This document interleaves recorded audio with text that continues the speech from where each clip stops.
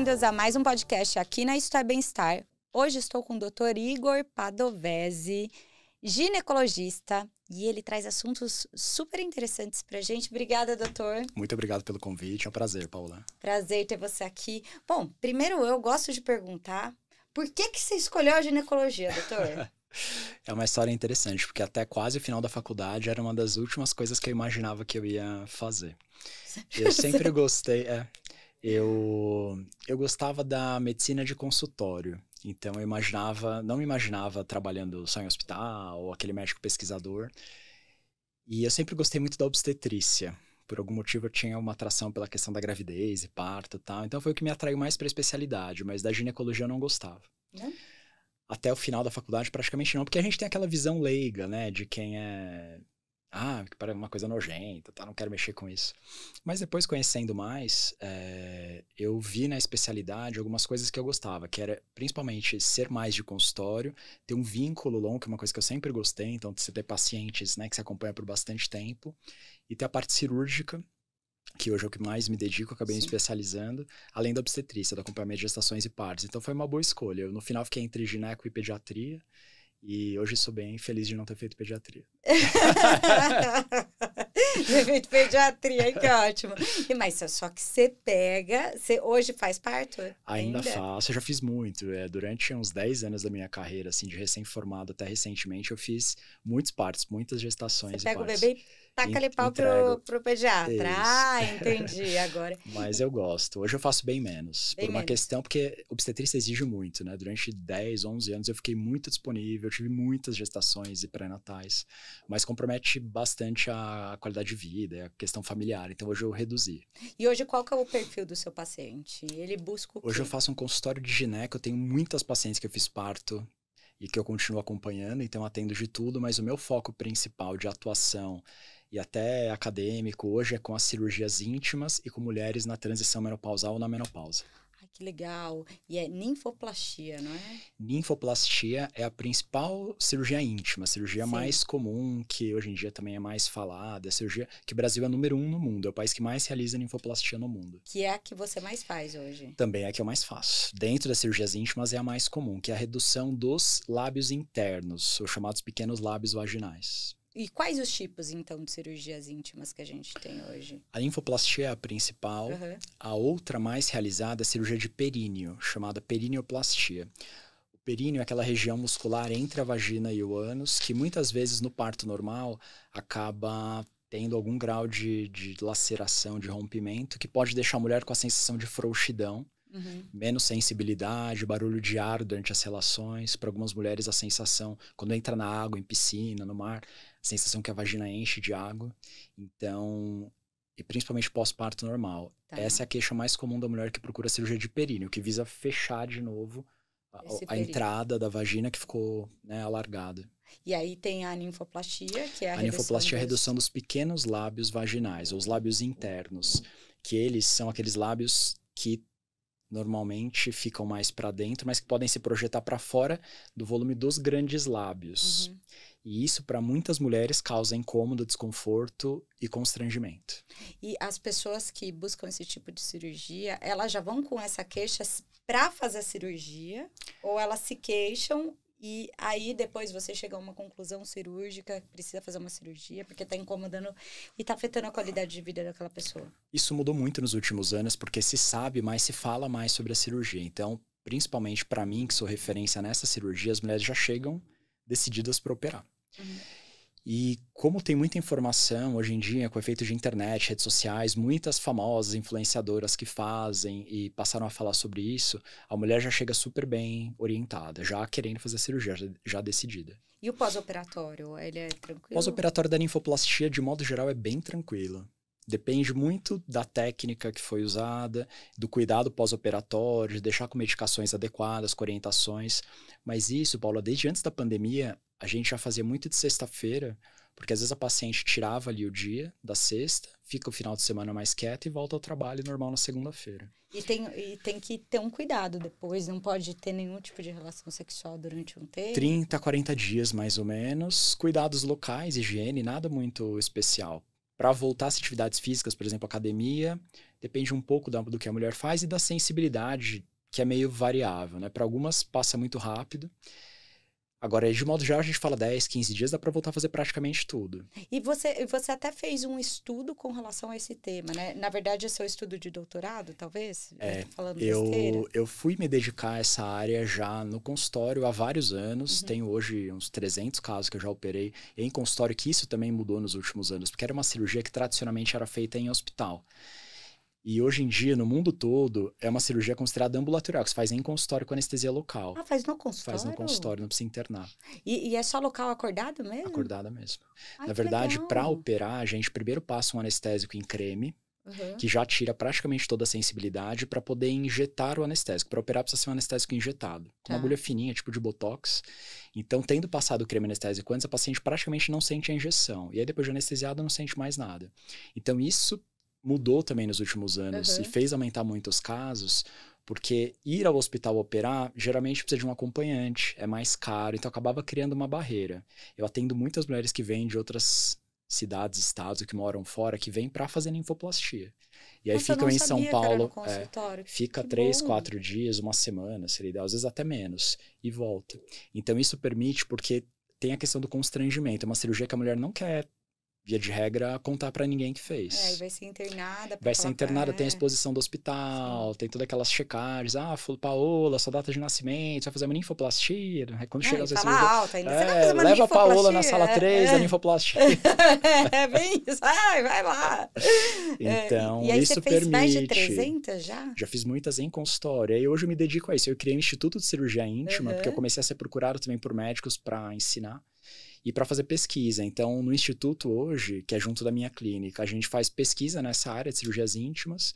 Então, teve um trabalho retrospectivo que a gente apresentou, eu apresentei no Congresso Mundial de Ginecologia agora na Colômbia, ganhei um prêmio até com ele, que avaliava mulheres que fizeram linfoplastia, quais eram as motivações e qual o impacto na autoestima e na sexualidade. Então, qual foi o resultado? É muito interessante. Na verdade, a gente documentou o que eu ouço todos os dias no consultório. Elas melhoram muito, absurdamente, da questão da autoestima, principalmente, as que se incomodam com isso. Entendi. E, e, e a, a, principal busca nesse estudo que foi retrospectivo, né? a gente pegou fez. mulheres que já tinham operado e perguntou retrospectivamente. Agora, o meu estudo de doutorado é pra prospectiva. Frente. Então, tá. a gente vai avaliar com os devidos questionários de sexualidade, autoestima para documentar o que a gente vê na prática, que as mulheres que procuram por essa cirurgia, desde que bem feita, porque hoje em dia também tem muito problema, mas elas ficam muito bem. Isso tem um impacto de melhora de autoestima, da relação com o corpo, de melhora da sexualidade gigante. É, e isso que eu ia te perguntar, nesse retrospectivo, é, depois a gente fala do seu, do, do próximo que uhum. você vai fazer é, elas buscam por conta de, de estima mesmo ou por conta de algum desconforto ou dor ou não sei ou, ou, ou, desconforto no ato sexual essa é uma das primeiras perguntas do estudo e a maioria respondeu que tinha todos os sintomas tanto ah. desconforto físico como constrangimento piora da autoestima então o que eu ouço direto, mulheres que ficam constrangidas com a aparência da vulva, que não conseguem, às vezes, ficar despidas, mesmo diante de outras mulheres, mulher que vai para outra cidade para fazer depilação, principalmente do interior, que aí tem vergonha, não consegue ir na academia ficar é, né, no vestiário tal diante de outras mulheres, só tem relação com a luz apagada. Isso é clássico. E deve sentir dor, porque se é Tem dor grande... porque às vezes o lábio grande é, entra na hora da relação, ela tem uhum. que dar uma ajeitada, né, no momento ali. Então, resolver isso de forma simples, rápida, recuperação boa, tem um impacto muito grande. E, e você tem é, dado do percentual de mulheres que tem. É, eu digo, tem o percentual que sente essa questão de, de estima, que sente essa questão da dor, mas que tem uma vulva de fato aumentada. Existe um percentual ou não tem um percentual? É uma questão genética, de formação? O que, que é? É uma questão genética que se forma durante a puberdade, depois que a menina menstrua e se forma os órgãos genitais, né, os pelos, se desenvolve a genital externa, os lábios crescem e vão ficar daquele jeito pro resto da vida. Uhum. Na verdade, algumas mulheres mais velhas, depois dos 40 anos, percebem que vai ficando mais flácido, também passam a se incomodar mais. O percentual que isso acontece não, não existe. Tem mulheres que têm muito lábio e que não se incomodam, Inclusive é um contraponto importante, porque tem gente que hoje em dia critica, e eu, e eu entendo, um excesso de preocupação com aparência, né? Como Sim. querendo criar um padrão estético de beleza para o genital. Então é muito importante dizer que não tem padrão normal. É anormal tudo que incomoda, causa desconforto ou constrangimento. E afeta a qualidade de Afeta a vida. qualidade de vida. Tá. É que se você pega hoje no seu consultório, é que a maioria das pessoas que vão ao seu consultório são vão para pessoas mim já, já buscando, né? decidiram e só Já querem decidiram. alguém para operar. E É. de fato, quando você como médico vai analisar essa paciente, a maioria dessas pacientes ela, ela tem um, um lábio é, grande. A grande maioria tem. Igual essas fotos que eu te mostrei antes da gente É, eu começar. vi. Que eu deixo esse link disponível também para as pacientes que procuram Sim. a gente, as secretárias mandam uma pasta aberta para poder ver e entender do que se trata. Tem mulheres que chegam que têm pouca hipertrofia, Uhum. mas dizem que se incomodam e- melhoram muito quando a gente opera. Nunca chegou a acontecer alguma que veio operar e meio que não tinha o que operar, né? Que não tinha excesso. Agora, um cuidado que a gente que lida com isso, principalmente cirurgião plástico, né? Eu sou ginecologista, faço essa área que é mais estética, mas é, existe uma, um diagnóstico chamado de transtorno dismórfico corporal Sim. que a gente tem que tomar cuidado, que aquela mulher, né, mais comum do que em homem, cronicamente insatisfeita. Então ela percebe aquela coisinha, não, mas aqui tem uma dobra, um negócio que só ela percebe e que nunca vai resolver. Então a gente tem que tomar cuidado e tentar identificar esse perfil do paciente, saber que talvez operar o lábio não vai ser Não, Mas vai, não não- vai resolver não vai resolver, questão, vai porque melho- sempre vai ter uma sempre vai ter alguma falta, coisa. né? Exatamente, tem que ficar atento a isso. Mas na experiência que eu tenho muito grande nessa área, as pacientes ficam muito satisfeitas. E se a mulher né, procurar por isso na internet, por exemplo, tem sites que só falam de, de- de cirurgias estéticas. Eu coloco isso no site do Instituto também, um link para isso. Você lê os relatos das mulheres que, que fizeram, é muito legal. É um impacto muito grande de autoestima, de sexualidade. É porque, é, pelo que você, até no seu, no seu estudo, na sua análise retrospectiva, é, deu para avaliar que as pessoas que buscam esse tipo de cirurgia são pessoas que, de fato, têm um desconforto e Tem. não é uma questão es- estética. Não é puramente estética para algumas é. Elas falam que não tem tanto desconforto físico, é mais estético, mas é muito incômodo. É muito E por mais que hoje se fale mais, tem muitas mulheres que quando descobrem que existe a cirurgia, porque para muitas mulheres você fala de linfoplastia, ela não sabe o que é. Quando ela descobre, é um achado. Assim, ela fala, nossa, eu não acredito que dá para operar isso, porque sempre se incomodaram e um nunca tabu perceberam. falar. É um tabu ainda. é. É, veio antes do seu podcast, eu fiz uma entrevista com uma ginecologista sexóloga, até comentei com você antes de começar. E é muito engraçado que a mulher ela começou a se enxergar, né? Porque Sim. antes, até se você pegar o clitóris da mulher, a mulher não, não tinha um entendimento sobre Perfeito. isso. Então, é uma coisa muito nova. O enxergar e olhar para a mulher e como o prazer sexual, como a- o amor próprio, o cuidado. Então, essas questões, elas. A É gente está tendo mesmo. um olhar direcionado, né? É então, a medicina mudou bem. Tem mudado, e nessa área em especial. A cirurgia íntima entra dentro desse conjunto de coisas que podem também melhorar muito a questão da mulher com a sexualidade. Assim como você falou do clitóris, do autoconhecimento. Hoje em dia a gente prescreve vibrador, né, no consultório. Sim, sim, ela estava falando Recomenda, sobre é, isso. é. E eu fiquei até chocada, doutor, que o clitóris, é, descobriram o clitóris em 1990 e tantos? Tipo, Muito recente. É, desculpa. 98, se Muito eu não recente, me engano. Ai, gente, eu posso estar falando. Mas foi mais ou menos isso, 1998. Eu falei, como assim? O que, que existe antes Porque o dele? clitóris, aquilo que é visível, né? A glande do clitóris, aquela pontinha, é só a ponta do Ela é iceberg. meio uma coisinha assim, né? É, é, eu tenho na- no consultório tem um, ele é bem grande, é todo mais pra dentro, né? Todas as terminações estão lá, então o que fica exposto é só a pontinha. Que aliás falando em clitóris, essa é outra, você perguntou das cirurgias íntimas. Aham. Uma outra coisa que tem crescido muito a procura por mulheres que usam hormônio anabolizante, Ai, testosterona, sim. etc, e aí cresce o clitóris. E aí procuram a gente pra Cresce corrigir pra dentro e pra fora. Pra dentro e pra fora. Então ele cresce por um todo. Não Cresce é por um só- todo, mas não às é vezes cresce muito. Fica tipo um. Fica um tipo um arco- micropênis. um Às micropênis. vezes, dependendo. Essas muito anabolizadas ficam com micropênis, a maioria. E quando você faz o que acontece- cirurgia, tipo, diminui alguma coisa Então, uma das cirurgias íntimas que a gente não falou ainda é a cirurgia de redução do clitóris. Aham. Tem dois tipos. A principal que a gente mais faz é uma cirurgia que só esconde ele mais pra dentro. Porque o clitóris também a gente explica é igual o nariz, peito. Tem tem maior, menor, tal. Tem Uhum. mulher que já tem o clitóris um pouco mais proeminente. Quando ele cresce, fica muito saltado. E um detalhe é que também o clitóris, ele tem algum um pouco de, de vasos, né, de corpos cavernosos, igual o pênis. Então, o clitóris que cresce pelo uso de testosterona e os derivados, às vezes na mulher numa situação normal ele já fica maior, mas quando ela te, tá no momento de excitação, que recebe, que aumenta, fica, fica mais, bem maior. Então, a primeira coisa que a gente tenta fazer é uma cirurgia de embutir o clitóris de volta, que chama tá. pexia, que é uma fixação dele mais para dentro, que resolve a maior parte dos casos. Tem uma cirurgia que é mais invasiva, que retira um pedaço dele onde não, tá, onde não estão os nervos, que também tem bom resultado. É uma coisa muito recente, se faz há pouco tempo, não, é recente não que tem tantas mulheres. Não, do que se sabe, dos casos já operados, não tem relato de que tenha é, nenhum tipo de interferência nisso. A recuperação é pior, uma cirurgia mais delicada mas não mexe nos nervos.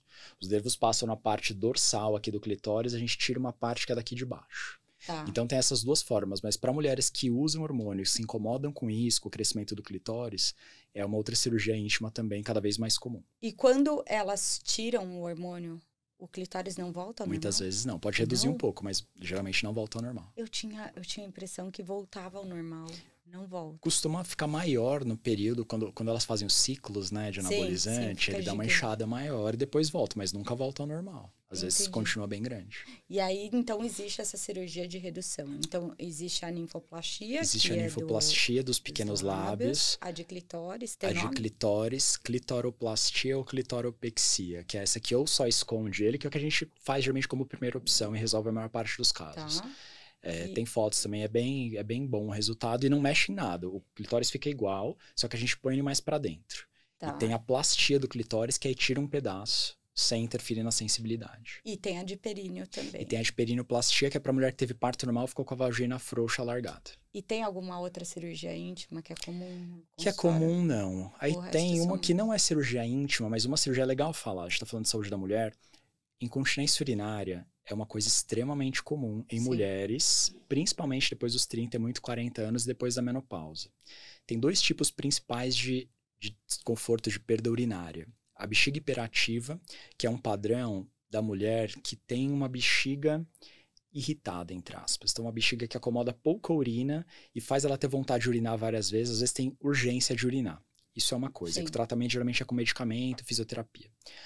E tem a incontinência urinária de esforço, que é mais comum, que é por uma flacidez, um afrouxamento dos mecanismos de sustentação da bexiga e da uretra. Tá. É multifatorial. Então a idade conta, quanto mais velha, pior. Ter tido gestações é e partos, parto. principalmente partos normais, complicados, partos forceps instrumentais, partos muito demorados, é um claro fator de risco para isso. Então essa é a mulher que começa a ter escape involuntário de urina quando tosse, espirra, dá risada, pula, é, situações que fazem aumentar a pressão intraabdominal. E aí o, o esfíncter não dá conta e acaba tendo os escapes. Então, o tratamento disso, a primeira coisa é saber que não é normal. Tá. Que tem tratamentos. O mais básico, inicial, que resolve boa parte dos casos, fisioterapia, fortalecimento de assoalho pélvico, recomendado para todas. Para algumas mulheres não vai ser suficiente ou elas não aderem direito ao tratamento, para de fazer e pioram. Sim. Uma outra opção para os casos leves, leves a moderados, tem tecnologias que são aplicadas por dentro da vagina, que é o laser intravaginal, radiofrequência, ultrassom microfocado. Tem vários estudos que mostram que eles são equivalentes, é tudo igual, fazem o mesmo efeito. E, e, costumam melhorar um pouco, e é um tratamento que dura um ano, um ano e meio, tem que reaplicar. Sim. E o tratamento definitivo é uma cirurgia de suspensão, coloca uma faixa sintética, chama cirurgia de sling, Uhum. Que é uma faixinha sintética que faz a função do tecido que acabou amolecendo, enfraquecendo e dá sustentação. É extremamente resolutiva a cirurgia. Legal. E razoavelmente simples também, recuperação boa. Então é importante as mulheres saberem que existe isso. Nossa, eu nem sabia que existia, é. porque eu Semana... tive dois, né? Dois. Eu sinto, é. eu sinto que eu tenho esses escapes. Eu sinto é super tudo. comum, é legal falar disso para quebrar os tabus Não, também. você sabe por quê? Porque eu percebi, eu vou te falar, até eu tenho uma das colunistas aqui que é amiga minha de faculdade, que ela é a Renata Luri, ela é fisioterapeuta. E eu comentava com ela logo depois que eu tive a Lorena, eu falava assim, gente, eu não consigo ter minha segunda filha. Eu não consigo naquele brinquedo de pula-pula. Eu Escapa pulava um e escapava o xixi. É. Falava, Isso é super comum, Deus. Paula, que as mulheres também não falam. É, e às vezes precisa ficar preocupado com isso, precisa usar algum protetor sim, tal. Sim. Então, se incomoda, tem que procurar tratamento. Basicamente são essas opções, mas a cirurgia, a gente é cirurgião, então tem esse viés mais né, de a ser resolutivo. Seria o último método. Seria a última opção, mas é a resolutiva definitiva. Semana passada eu operei uma paciente de 30 e 6, sei lá, 37 anos, a Ju, um parto normal. Ela ficou, e ela também é acima do peso, tá? Estar acima do peso é um fator de risco. Eu não falei dos tratamentos, mas um básico Uhum. também é perder peso, para muitas já ajuda bastante. Uhum. Mas ela ficou com uma baita de uma perda. E teve uma gripe um tempo atrás, não conseguia sair de casa. Ela devia A tossir, tossia, fazer espirrava e fazia xixi de jato. E aí gente. passa a faixa, resolve. E Então, resolve, resolve, tipo, resolve bem. Resolve 100%. É um caso que não adianta, não é físio, nem laser que vai resolver, é para cirurgia mesmo. Então, nós temos esse- essas questões de, tipo, do parto e tudo mais. E a menopausa? A menopausa, ela tem um link com, com essas cirurgias, com, com essas, essas questões de, da incontinência, do- da perda de xixi, do escape, até da linfoplastia. Tem alguma Tem relação? Tudo isso, hoje em dia, Paulo, esse é um tema super em alta, que ainda é muito pouco falado. O que, que acontece? O organismo da mulher é como se. O organismo em geral não foi feito para viver tanto tempo quanto hoje. Sim. No início dos anos 1900, 120 anos atrás, a expectativa média de vida no Brasil, você tem ideia de quanto era? Quanto vivia uma mulher no Brasil? Uns 40 É, anos. dados do Acertei. IBGE, 40 anos, exatamente. Então, Ah, então 40 anos você nem a maioria das mulheres nem chegava na menopausa, é isso. Durante a maior parte É. da história, não se entrava na menopausa. Na natureza, só o ser humano e acho que as baleias, o girafa, tem acho mais dois bichos que, que entram na menopausa. A maioria não tem Sério? esse período pós. E hoje em dia, a mulher tem expectativa de 80, 90 anos, vai viver um terço, quase metade, às vezes metade da vida na pós-menopausa. Então, o que, É que acontece na verdade. menopausa? Os ovários deixam de produzir os hormônios que a mulher produz todo mês, os hormônios sexuais, né, que são estrogênio e a progesterona, e parte da testosterona. Isso tem vários impactos para o corpo. Então, tem a ver com tudo isso que a gente falou. Maior, maior risco de ter incontinência urinária. Sim, porque fi- tudo fica mais flácido, os mecanismos de continência urinária também enfraquecem, a pele muda. Então, a menopausa tem vários impactos no corpo da mulher. Sim. É, não só no corpo, mas de sintomas em geral também. E é mais do que comprovado há muito tempo, não é polêmico, é falta de conhecimento, que a reposição hormonal da menopausa é indicada para todas as mulheres praticamente, com poucas exceções. São raras as mulheres que têm alguma contraindicação. Isso não é questão de opinião, está escrito nos consensos há vários anos. Sim. Só que é um tema que teve muitas idas e vindas na, na ciência, principalmente no início dos anos 2000, foi publicado um estudo chamado WHI, que foi bem famoso, e que mostrava aumento de risco, várias coisas que depois se entendeu que tinham problemas metodológicos no estudo e se usava um tipo de reposição hormonal que hoje em dia praticamente não se faz mais. Tá. Mas muita gente formada nessa época, do- que também é pouco tempo, é 20 anos atrás, ainda traz essa ideia do WHI. Então, tem vários estudos que mostram que nas faculdades de medicina, nos programas de residência médica, né, de especialização, não se ensina a menopausa. Ninguém sabe nada de menopausa. Então, tanto que eu ouço falar pouco, às vezes, É. como eu trabalho mais na parte de, de exercício físico e alimentação, às vezes eu vou procurar até artigos internacionais. É muito difícil achar artigo de menopausa, então, Né, eu exemplo. vou te dar umas referências bem legais pra seguir. Hoje em dia tem muito, só que o médico não aprende. Sim, e é- mas só que é, você tem que ser muito específico para achar o que você tá. Perfeita. Você tem que ativamente ir estudar. Isso. Você, tipo, Você tem que se pode. interessar pelo assunto e se Exato. dedicar. E é uma coisa que é um pouco difícil. É interessante falar sobre isso. Porque o diagnóstico não é tão simples. Quer dizer, é fácil mulher que já tá lá anos depois da menopausa, ninguém tem dúvida, que tá cheia de sintomas, já parou de menstruar. Agora, a transição menopausal, chamada perimenopausa ou síndrome do climatério, começa em média 5, 7, se fala em até 10 anos antes da idade da menopausa Sim. que é normal a menopausa dos 35 aos perdão, dos 45 aos 55. Então, mais ou menos com 35 anos, ela pode já 35 começar aos 40 a anos tem mulher que começa a Eu- ter eu tô sintomas. É. Doutor, eu tenho certeza que eu sinto sinais- sintomas da menopausa. Porque eu tenho calorão. Eu tenho Calorão? muito calorão. Eu tenho calorão. Calorão, doutor do céu. Sério, pô? Eu sinto queimar, eu fico assim. Só que eu vou Mas fazer. vem de repente? Vem. Ou você é calorenta? Porque uma coisa é a Não, mulher vem que de repente. de repente um... E parece que é o fogaréu e eu começo a ficar vermelha. então precisamos conversar. Mas E você vê, falar. você é nova, né? Eu sou, tenho 38 anos, doutor. Mas Mas acontece, porque existe a menopausa precoce é, que vem antes. Mas meus hormônios estão tudo certinho. Ótima pergunta, isso não quer dizer nada. Ah, beleza. tô Porque isso é ótima muito importante, não? Bom, ótimo gancho para falar disso, porque os hormônios ele, é um erro, é o erro mais comum. Uhum. A mulher vai no médico cheia de sintoma, com calorão, com ressecamento vaginal, fora os outros sintomas que são relacionados, né? Fadiga, falta de libido, alteração do sono, alteração de memória, piora da disposição, piora de composição corporal, começa a acumular gordura no abdômen, se mata na academia, não vê resultado. Isso é tudo sintoma da perimenopausa. Ai, Aí vai lá no médico, ele dá os hormônios e fala: Não, seus hormônios estão ótimos, você não tem nada. Isso é um erro básico. E aí, Porque mas os hormônios... é, é diagnóstico clínico? Isso, clínico clínico. Então, tem gráficos nos livros de fisiologia, nos artigos de menopausa, que até mostram isso. Os hormônios eles vão se alterar numa fase mais tardia da transição menopausal. Tem fases da transição menopausal. Então, uhum. tem a mulher jovem que cicla todo mês certinho. Aí ela vai chegando numa perimenopausa precoce, depois tardia, depois menopausa precoce tardia. Então tem fases de transição, não é uma coisa que acontece do dia para a noite. Sim. Assim como o contrário seria na puberdade, a menina também começa dois, três anos antes até algum sinal, brotinho mamária, vai ter pelinho pubiano, depois vai menstruar. Então, na, na, na menopausa é, é o coisa. contrário, vai acontecendo aos poucos, isso é Sim. é variável entre as mulheres, tem um espectro de sintomas. Então, os hormônios eles vão ficar alterados bem mais numa fase mais para frente. No começo eles podem estar tá normais. E é uma síndrome clínica, isso é muito importante de falar. Sim. Tem doenças ou condições que são. É, o diagnóstico é objetivo. Exemplo, pressão arterial, colesterol, Sim. diabetes. Você tem critérios. Tem condições que são de diagnóstico clínico, que é, sei lá, sintomas depressivos, né? O diagnóstico de depressão, de ansiedade, uhum. é, síndromes de outras doenças, reumatológicas, lúpus, sei lá, um conjunto de sinais e sintomas. A perimenopausa é a mesma coisa, não é nada laboratorial. E está é, escrito é em todos os conselhos, é clínico o diagnóstico. Mas é engraçado, doutor. Isso que você me traz é uma coisa é, muito, vamos, vamos dizer, é um atendimento muito mais humanizado e talvez é, o médico ele precisa estar tá com, a, uma cabeça um pouco diferente. Ele porque precisa... tem muitos que não. que eu vou lá, você vai lá, fala que você está sentindo e não é nada, seus exames estão normais, é coisa da sua cabeça.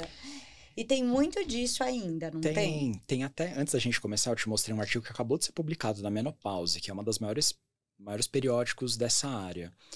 E, e ele trata de um, de um tema que é foi desse estudo visto como um sintoma chamado not feeling like myself. Então, aquela sensação de não se sentir a mesma. Sim.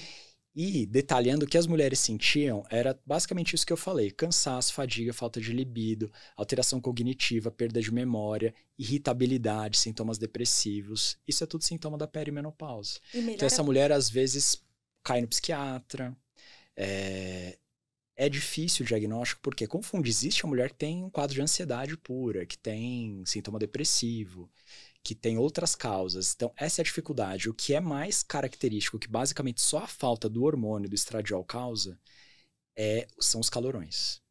E a falta, né, a irregularidade, até parar as menstruações. Mas todos esses outros sintomas são mais difíceis, porque Eles tem várias causas. tem coisas. múltiplas causas. Só uhum. que no conjunto, da mulher que tem 40, tem muito 50 anos. Então, aí vem a habilidade do médico de diagnosticar, e do médico que tem experiência em atender esse tipo de, de situação. E como o médico não aprende na formação tradicional, se ele não for atrás de, de estudar, de aprender sobre isso, vai ter agora o Congresso Brasileiro de Menopausa, daqui a alguns dias. Para o número de ginecologistas e endocrinologistas que tem no Brasil é um congresso extremamente pequeno. Entendi. Então, pouquíssima gente para para se dedicar. Porque não há interesse, porque existe muito essa cultura, e não é só no Brasil, tem estudos americanos. Depois eu vou deixar umas dicas bem legais. Tem umas americanas ótimas, são médicas, que só falam sobre esse assunto, trazem muita coisa bacana. E, e, todo mundo é meio inconformado com isso. Como que os médicos não sabem, não aprendem, não tratam as mulheres? É mesmo porque tem se você olhar, é, se você é, eu aqui quando foi, esses dias veio a doutora Andréa Santos, que ela é economista em saúde da Organização Mundial de Saúde, e ela trouxe dados sobre longevidade. Hoje a gente tem uma população que envelhece, foi o que você disse, com 80 anos, Exato. 60 anos, o cara tá, tipo, super no mercado ativo. de trabalho ainda, tá super ativo. A mulher ativo. de 50 anos hoje é outra mulher completamente diferente. E ela é a gente ativa, pega o médico trabalha. tá deixando uma grande parcela da população aí na gravidade, que é uma população que precisa de atendimento, precisa de acolhimento, precisa de uma visão integrativa, integrada e tudo mais, com um olhar focado. E, cara, é uma população que só cresce. Mas ainda é assim, Paula. A gente vê no consultório direto histórias. Dias atrás atendi uma médica, uma dermato, inconformada, que passou por vários profissionais bons. E ela teve uma suspeita de um, de um cisto de ovário, acabou tendo que operar, passou com um oncogineco. Uhum. E aí que tirou os ovários, ela começou a ter ressecamento vaginal, que é meio óbvio depois pela falta dos ah. hormônios. E aí, quando eu acompanhando, ele falou não, que ela tava com vaginismo pra ir no, na psicóloga. E então, ela com uma baita síndrome geniturinária da menopausa. É, pela então falta, do hormônio. Uma, uma... Falta muita formação nessa área. E tem um artigo interessante do Drauzio Varela, que tem uma frase que ele fala uh, assim, se a menopausa fosse em homens, a ciência já teria agido. Com certeza. Então tem ainda um pouco no resquício da cultura tal. É. É, e tem também, eu acho que a questão que a medicina ela tá em ela é uma metamorfose, né? Sim. Então constante. eu falo que a ciência ela nunca é a solução, é sempre um caminho. Sim. Então a gente que estuda e faz pesquisa científica, a gente sabe que a gente sempre está em busca de. Nunca vai solucionar. A gente e sempre está buscando. nessa área em especial mudou muito nos últimos anos. Você pensa 20 anos em medicina, não é muito tempo. E 20 anos atrás, a mentalidade era do WHI que reposição hormonal é ruim, aumenta risco cardiovascular, aumenta câncer, não se deve fazer. Então isso é muito discutido hoje em dia, inclusive, que foi um grande erro os resultados da WHI, desse estudo, ter se parado de fazer terapia hormonal, porque está escrito nos consensos americano brasileiro que acabou de ser atualizado. Tratar adequadamente a menopausa aumenta a longevidade, reduz o risco cardiovascular, é, reduz Alzheimer, reduz risco de diabetes, melhora a composição corporal, melhora a sexualidade, reduz sintoma depressivo. Tem uma lista lá enorme. Eu tenho um vídeo no YouTube que eu explico isso mais em detalhes, mostra Coloca tudo. na balança. Então, isso, exato. E aí, ah, mas e o câncer de mama? Câncer de mama pode aumentar com a terapia hormonal, depende do tipo de hormônio que se usa. Os estudos mais antigos que mostravam aumento do risco de câncer de mama era de um tipo de, de estrogênio que não se usa mais, basicamente, via oral. Então, uhum. Hoje em dia, a gente usa hormônios bioidênticos, tá. que é um, uma molécula produzida em laboratório, mas igual ao do organismo, diferente dos hormônios sintéticos que usavam antigamente. O começo da reposição hormonal, década de 60 e 70, se usava um tipo de hormônio que era obtido a partir do sangue de égua prenha. Em dose alta via estrogênio e equino conjugado. Então, isso hoje em dia já não se usa. É muito diferente. É voltando ao câncer de mama. Qual é a maior causa de morte em mulheres que tiveram câncer de mama? Não é o câncer é a doença cardiovascular, que é a doença é a causa de morte número um em mulheres em geral. Uhum. E aí, mesmo nesses estudos antigos que mostravam aumento de risco, é da ordem de um para mil mulheres. Então, a cada mil mulheres, você vai ter uma mais do que já teria na população geral, que vai ter câncer de mama por conta da reposição hormonal. Então, é um aumento de risco desprezível. E os benefícios são gigantes. É, então, foi aquilo que você até trouxe, você me mostrou antes da gente começar. Se você equiparar os benefícios que a gente tem com a terapia hormonal, com os tratamentos que a gente tem, que a ciência tem cada vez mais aprimorado, versus o que pode acontecer se você pegar qualquer bulário hoje qualquer medicamento, vão Sim. ter os efeitos colaterais e o que, que pode desencadear. Se você ficar preso a isso, você não respira. E é muito importante, Paulo, frisar isso. Não é opinião, está escrito nos consensos, é só ler. Os benefícios da reposição hormonal para praticamente todas as mulheres são gigantes. E risco, tem risco, tem como tudo, mas é desprezível. A questão é ter um bom atendimento, uma avaliação adequada, usar a reposição hormonal da forma correta, porque isso ainda tem muita desatualização.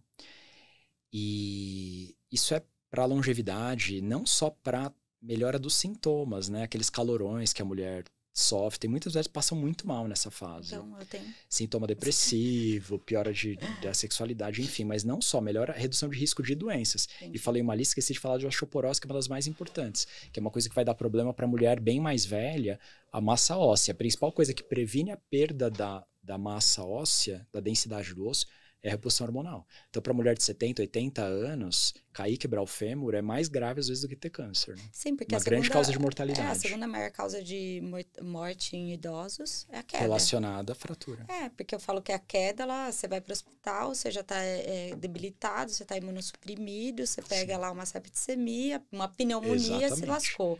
Mas, doutor, existe alguma relação? Porque, assim, o que eu percebo eu, por exemplo, estou com um contraceptivo, estou com um DIU. Isso pode camuflar uma perimenopausa? Perfeitamente. Camuflar no seguinte sentido: você usa um DIU hormonal, Isso. que deixa sem menstrual, reduz muito o fluxo para a maioria das mulheres. Então você perde o parâmetro das menstruações. que é um dos principais que a mulher observa e associa à menopausa. Então, do pouco que as mulheres em geral sabem sobre a menopausa é que leva a parar de menstruar e começar a falhar a menstruação até parar, só que usando um DIU, você deixa de menstruar, não tem esse parâmetro. O exame vai demorar para ficar alterado. Os calorões, que é outro sintoma que as mulheres reconhecem, vão aparecer em 80% das mulheres, mas tem uns 20% que não vão. E os outros sintomas que são da perimenopausa, a maioria nem sabe que é. Que pode ser Fadiga, irritabilidade, depressão, piora de libido, composição corporal, etc. Como, por exemplo, você pega uma síndrome metabólica, vou dar um exemplo simples, que você tem um conjunto de, de sinais e Exato. sintomas.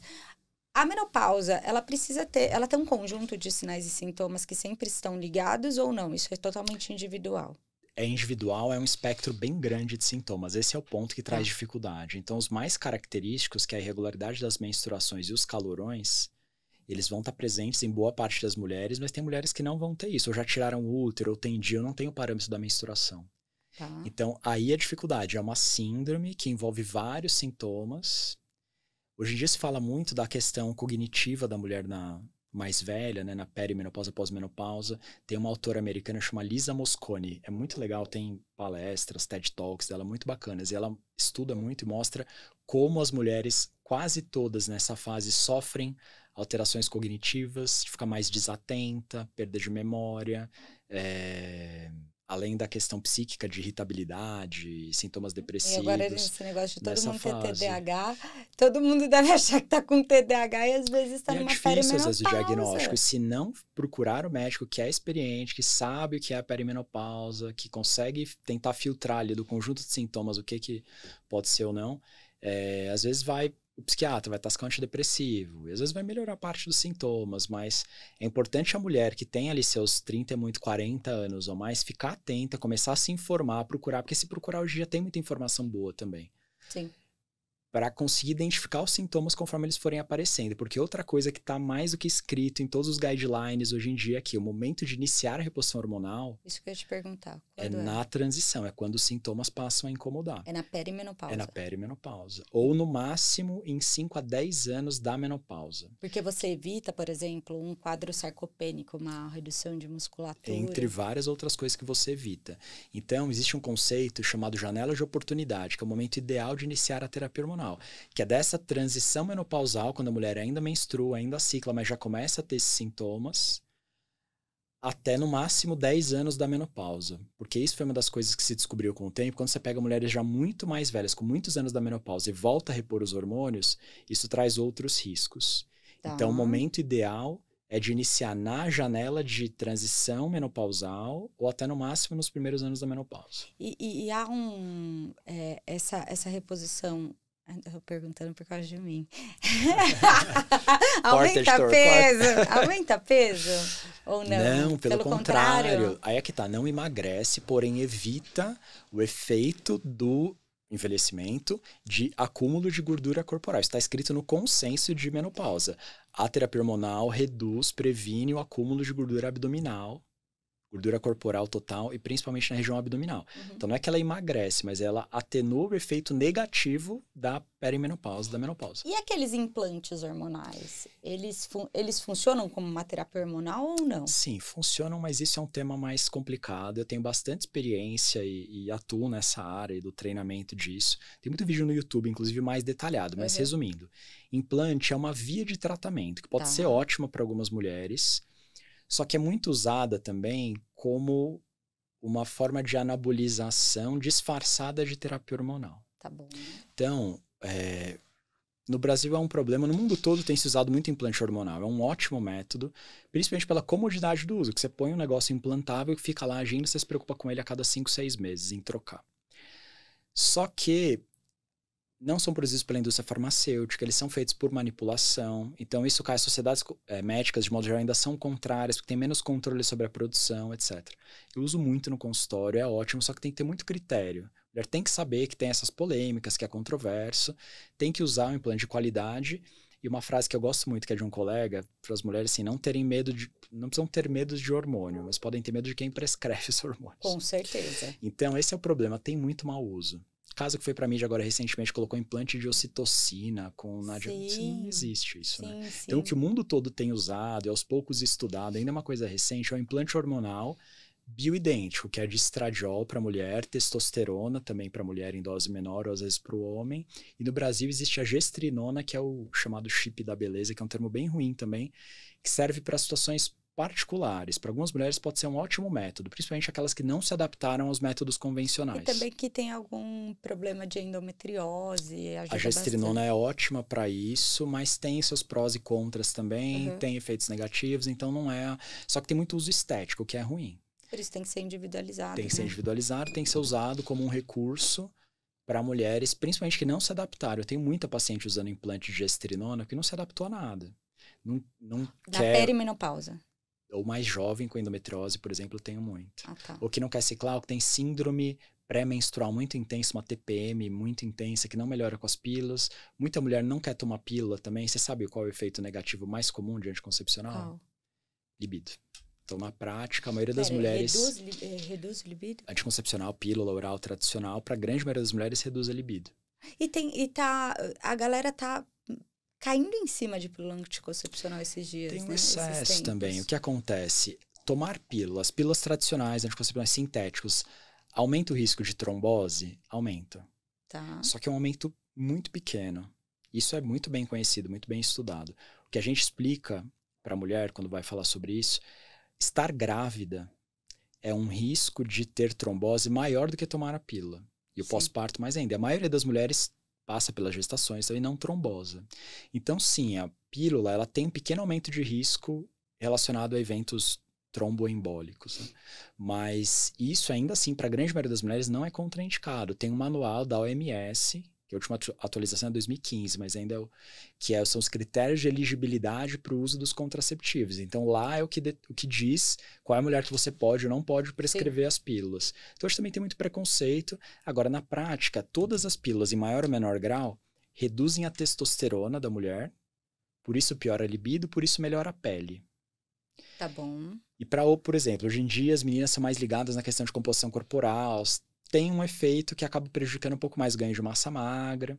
Então, por isso. É, é, eu acho que também tem a questão que hoje em dia os casos raros Exatamente. Antes, eles vêm muito Ninguém ficava sabendo hoje em dia. É, antes, tipo, se você falava assim, nossa, isso dá em uma em um milhão. Exatamente. Hoje, se uma em um milhão. Em duas horas já o tá o mundo todo sabendo. O é. mundo inteiro sabendo, a é. matéria do jornal e aquilo vira. Exatamente. A matéria do, do, da mídia social e aquilo vira já um. Perfeita a colocação, geral. Paula. Tem muito esse efeito. Por exemplo, eu já estava é, assistindo uma aula sobre câncer de mama em jovens, uhum. abaixo dos 30, 30 e poucos anos. E aí mostraram estatísticas de que não aumentou e todo mundo tinha essa percepção, nossa, por que, que hoje em dia é mais comum? Não é mais comum. Tem, é raro, continua sendo raro como sempre foi, só que a informação hoje em dia espalha. espalha e as pessoas é... ficam com medo, acham que. É, nossa, as pessoas ficam com é. medo e ficam com aquele excesso de cuidado de uma coisa que pode te proteger. Então, por exemplo, eu tomei pílula anticoncepcional minha vida inteira.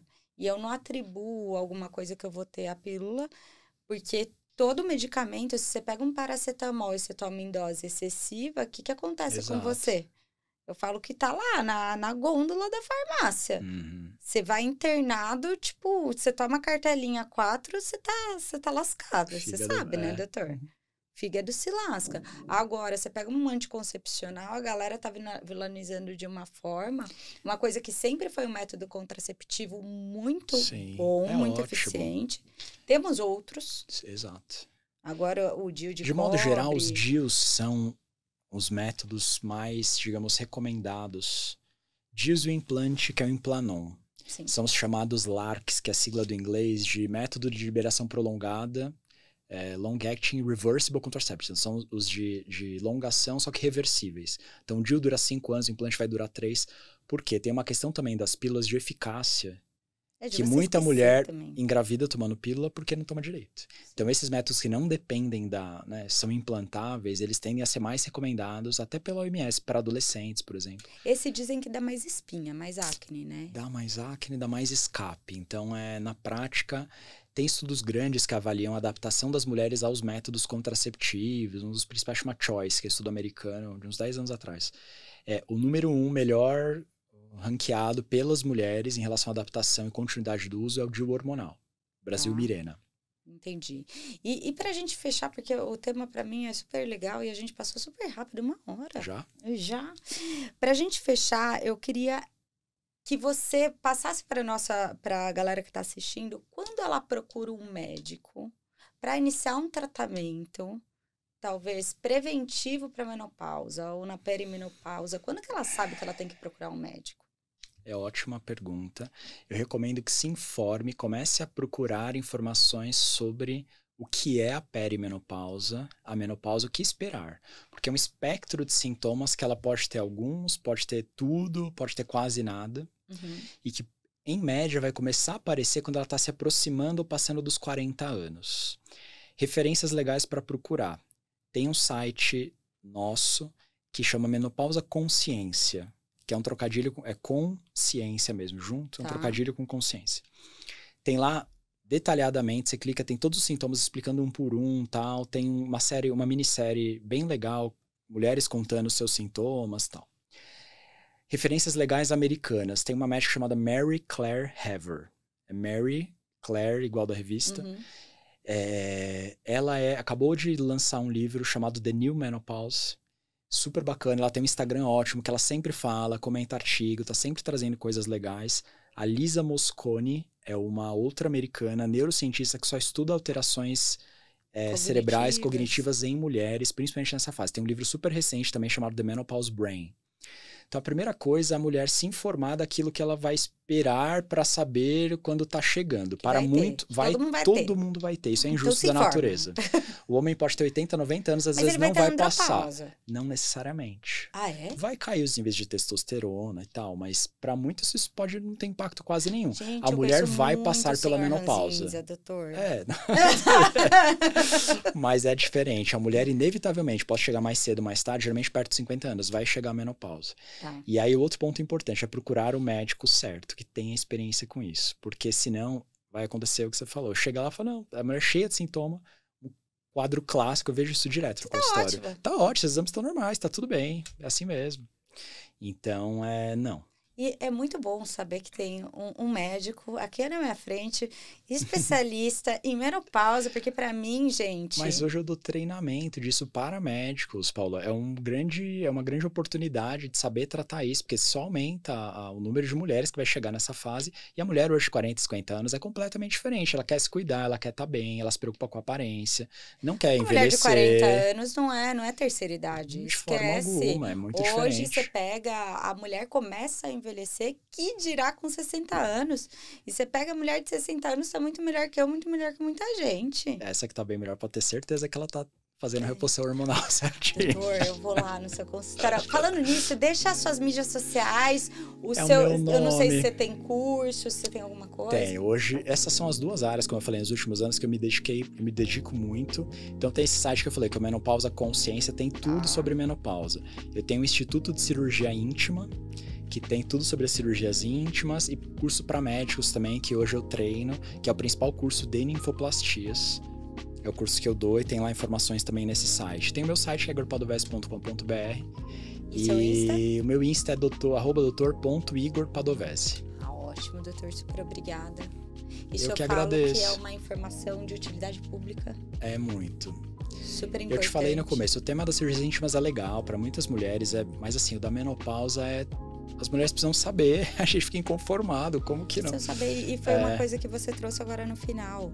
Toda mulher vai ter menopausa. Vai. Aqui viver até pelo menos ali uns 50 anos vai, Vai passar. ter menopausa. Então, É. vai passar pela menopausa a gente não tem muito o que fazer, não tem como fugir dela e a gente precisa se conscientizar e entender cada vez mais sobre o nosso corpo e o nosso processo. Perfeito. E para viver bem, com saúde, ter longevidade saudável, para a mulher é essencial tratar adequadamente a menopausa, porque senão corpo vai naturalmente sentindo. Degringolando. Basicamente isso.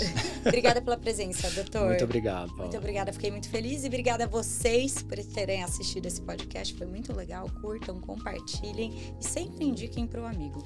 Tchau!